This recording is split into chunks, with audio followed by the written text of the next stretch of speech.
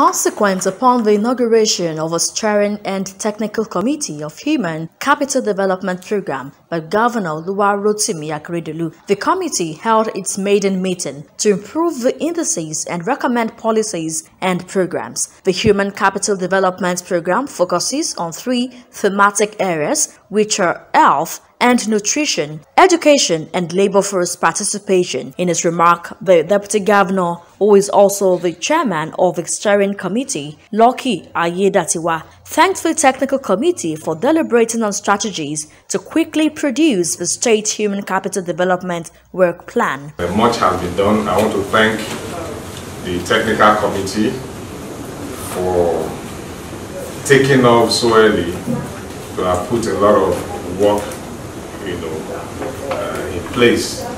Like he was telling us all that they have done and the next thing that needs to be done. Most of the work has been done. What we are to do here is to actually consider this work that has been done by the technical committee, consider them, make contribution if there is any. Aiyedatiwa said the administration of Governor Akeredolu is focused on improving the human capital development of its citizens for inclusive governance. A lot of work is on our hand, but we have started well.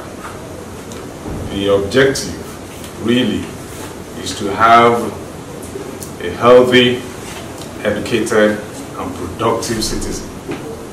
And we know that human development capital is critical to poverty alleviation and citizen participation and economic growth and development in any nation. Speaking to journalists after the meeting, the Vice Chairman and Commissioner for Economic Planning and Budget, Pastor Emmanuel Igbasan, said the committee is mapping out strategies to address the three thematic areas of concentration. Pastor Igbasan said the draft will be reviewed and a strategic paper produced to address poor indicators of human capital development. Uh, we've interrogated the paper.